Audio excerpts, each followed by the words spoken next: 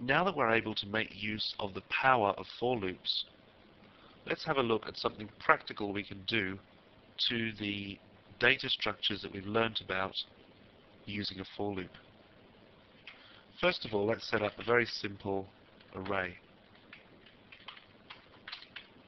Now array is going to take several names and we're going to use a for loop to print out each of the names. I'm just going to leave the for loop empty for now so that we can see what we're trying to achieve. We're going to show the number that we're up to on the array and then we're going to show the value of the particular element in the array that we're up to. In this case, we're looking at the names array and we use the dollar sign to show that the value that we're interested in is a scalar value, not the whole array itself. We also need to use the square brackets after the array to show which particular element we're looking for. So now we've set up our statement block there, and we can put in whatever else we wanted as well within those curly brackets. Just one statement will do to show what's happening with our for loop. Now we need to set up the initial statement here.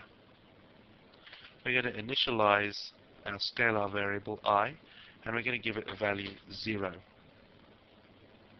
Because our array is 0 indexed, we need to be able to get at the first array element, which is 0. Then we're going to say scalar variable i is less than 4. And that'll be our condition. The reason we're saying less than 4 is that we're looking for the array elements 0, 1, 2, and 3. Four elements at all, in all, but because we're 0 indexed, if we got up to 4, that would be too many. So we're going to say less than 4 is our condition. Then we need something to iterate over the rest of the array. And that's going to be the statement that's carried out every time we go into the next iteration of the block. And that's to increment the variable i by 1. Let's move over to our command prompt and see what happens when we run this loop. As you can see, we've moved through every element in the array. Now what happens, however, if we add an extra value to our array? If we go back and try and carry out our script again, it stops at element number 3. So although our for loop is saving us some time by not having to write this line out four times or as many times as the array is long, we're not able to, by using a static number 4 here, we're not able to make our for loop flexible enough to cope with a variable number of elements within the array. What we need to do is to find the highest value of the elements that are in the names array. How we can do this, and bearing in mind that we're actually looking for the total number of elements, is to simply give the array name itself using the at sign at front to show that we're referring to the array as a whole and not to any element within it.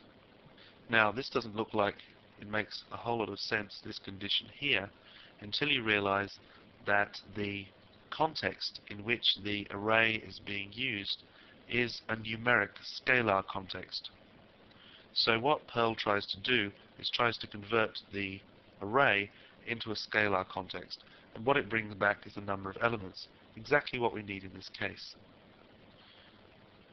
So what we're able to do is to have our script react to exactly the number of elements within our array, whatever it may be.